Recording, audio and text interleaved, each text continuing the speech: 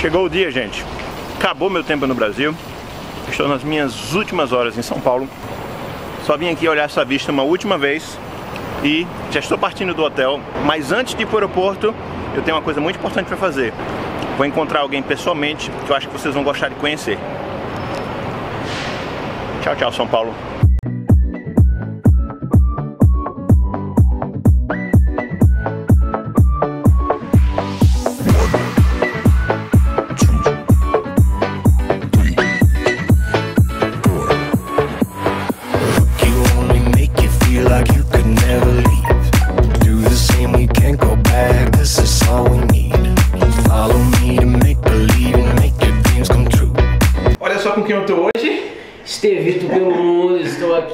Demorei quatro anos para conhecer essa pessoa pessoalmente. Quatro anos apenas.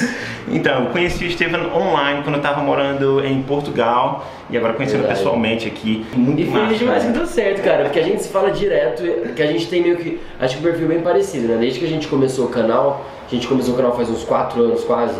É, eu comecei o vídeo tem 11, foi no começo 11 do YouTube, anos, cara. nossa, é. o pioneiro do YouTube. é que a gente se conheceu faz uns 4 anos, tava começando meu canal e tal, fazia umas lives e aí trocava muita ideia sobre viagem, sobre morar fora, sobre como era a vida na Europa e tal. É. E a gente acabou que nunca se cruzou, aí hoje deu certo. se vocês ainda não acompanham o canal do Estevam, vou colocar o link aqui embaixo na descrição. É muito fera, vídeos de viagem, dentro de avião, dando dica, visitando a Europa, visitando os Estados Unidos. Conteúdo muito, muito bacana. E uma coisa muito legal nos seus vídeos, é, você é um entertainer, você realmente é um... um conversa. Cara, exato, você realmente diverte a pessoa, você não está só mostrando os lugares bonitos. Olha só a moral, é gostoso, é, é, é, agradável, mesmo que de repente você esteja visitando um país que de repente o cara não está muito interessado, mas o teu, você faz um vídeo tão interessante, você deixa tão divertido, que a pessoa assiste assim. Olha, eu tô me achando, vou até querer o link do meu canal na descrição do vídeo agora, hein, o pessoal se inscrever, vai ter, gostei. Vai ter. Estevam, a galera às vezes pergunta assim pra mim sobre começar essa vida de viagem, né? Então muita gente imagina, não é muito caro, é impossível e tal. Nem um pouco. Dá uma dica pra galera aí que Nem tá querendo começar essa vida de nômade. Cara, vida de viajante. A minha principal dica é você determinar o que você realmente quer, prioridades. Muita gente acha que devem falar isso aí pra você também, que você é o filhinho de papai, ou que viaja o mundo, ou que ganhou tudo de bandeja, não sei o quê. Porque quem olha a gente hoje né? Julgar de fora é muito fácil, mas ninguém viu que a gente abria mão da cervejinha com os amigos, que a gente abria mão de comprar roupa nova. Eu, por exemplo, para fazer muita viagem minha, eu deixava de gastar, de sair, de fazer N coisas, porque eu tinha um objetivo, eu sabia o que eu queria. Eu lembro meu primeiro intercâmbio na Argentina, eu paguei com meu dinheiro, eu tinha 18 anos, aí eu fui trabalhando, juntando dinheiro, juntando dinheiro e deixava de comprar várias coisas. Meus amigos possuídos falando, ah, é porque eu comprei esse tênis, ah, é porque não sei o que, ah, é porque vamos na festinha, ah, é porque. E você lá focado, eu consegui, fiz meu primeiro intercâmbio e depois não parei mais, que eu vi que era possível. Eu vi que você não tem que ser rico, você só tem que ter prioridades. E assim, qualquer pessoa consegue. Muita gente fala pra mim, ah, mas eu não tenho dinheiro nem pra ir pra outro estado, quem dirá sair do Brasil, mas você não tem que ir amanhã. Você pode se planejar pra ir daqui um ano, entendeu? Dois anos, talvez. Acho que qualquer um consegue, basta você querer. Hoje com o advento da internet, né, cara, tem, tem tanta possibilidade de você gerar uma renda extra, ou gerar até sua principal renda através Também. da internet, né?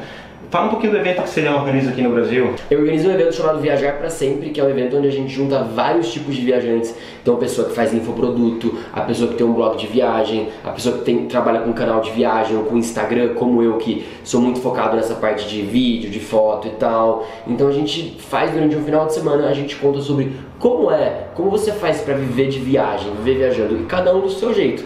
Esse evento acontece em junho no Rio de Janeiro e em dezembro em São Paulo. Já fiz o meu jabá. É, é o já, próximo. O link vai estar aqui embaixo já da compra, é, já vai estar o link para venda do canal, de tudo. De repente, se eu estiver aqui no Brasil na próxima. Eu quero você lá. Se ele estiver aqui, ele vai lá palestrar, viu? De repente, eu, eu vou ele para palestrar lá. Quero vou dar um jeito. De repente, em dezembro eu tô de volta. Né? Tô sem data de retorno ainda, mas não é, pensei Você é pior do que eu, né? Porque muito... você abre o Instagram lá, ele tá na Alasca. Tu abre o Instagram lá, ele tá na África. Você abre o Instagram, já tá na Polinésia Francesa. Você fala, meu. É, é um sonho acompanhar. realizado. É um sonho realizado. É um sonho se realizando ainda. Quando eu era adolescente que imaginava viajar o mundo, morar em outro país, é uma coisa assim muito distante. Eu, eu lembro também, quando eu parava pra pensar, tipo, na aula, eu sempre adorei geografia e história, eu olhava assim no mapa, tipo, Europa, eu falava, Europa é tipo o lugar do descobrimento, antigo, distante, tipo assim, é muito impossível ir pra Europa. Aí de repente você consegue a primeira vez, aí você vê que é possível, você vai a segunda, aí depois você vai pra morar, aí depois você vê que o mundo é muito, muito menor do que a gente imagina, muito menor. É. Eu lembro quando eu alimentava o sonho de conhecer Sydney, por exemplo, um dos lugares que tinha sido no topo, no topo da minha lista. Que parece surreal, né? De tão longe. É, demais, só preço de passagem e tal. Aí na época, muita limitação financeira, o máximo que consegui tirar o passaporte, só fui carimbar anos depois. Mas, Cara, mas isso é muito legal, deve dar até uma, dar uma emoção. Eu, eu, né? me motivei, uma das motivações era, eu tenho esse passaporte, eu vou conseguir carimbar um dia. Pô, eu fiquei uns três anos ali alimentando aquele sonho, juntando dinheiro, quando surgiu uma oportunidade, agora vai. Exato, não tem que ser na hora, né? Muito, é que acho que a gente é muito imediatista. Então a gente pensa, ah, eu quero ir pra Sydney amanhã, mas eu não tenho 10 mil reais. Bom, então para. Você pode ir daqui três anos, daqui dois anos, junta uma grana, junta o dinheirinho da passagem.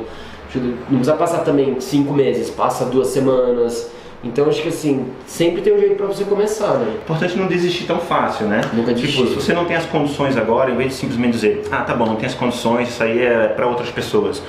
Para e pensa, como eu posso ter essas condições? Então eu não tenho dinheiro agora, mas como eu posso ter esse dinheiro? Como eu posso um dia organizar e realizar esse sonho? É, o que eu posso fazer para conquistar isso? Exato. Eu sempre, quando eu estava terminando o terceiro colegial e começando a faculdade, eu comecei a dar aula de inglês para poder ganhar um dinheirinho. Aí eu dei aula de inglês e tal, falou assim, bom, eu sempre gostei, sempre fui muito autodidata, gostei muito de estudar. Falei, vou estudar. Ganhei, foi com esse dinheirinho que eu fui pra Argentina. Então, assim, eu sempre tem que pensar, né? Pô, meu pai não tem dinheiro pra me dar, minha mãe não tem dinheiro pra me dar, então o que, que eu posso fazer?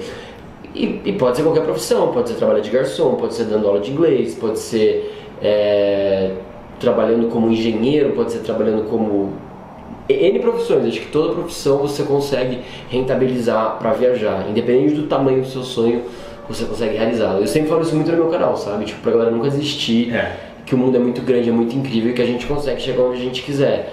Eu mesmo, muito lugar eu nunca imaginei que eu ia chegar, que eu ia viajar. Meu, Japão foi sempre um sonho da minha vida, desde criança eu via tipo anime, ah, desde a época do Pokémon eu falava assim, meu Deus, um dia ainda vou na terra do Pokémon. E eu nunca pensei que esse dia ia chegar, sabe? Então até é emocionante, tenho certeza que quando eu chegar lá eu vou sentir alguma coisa, tipo, meu, realizei mais um sonho. Então não desistam, galera. Não precisa ser fácil, basta valer a pena.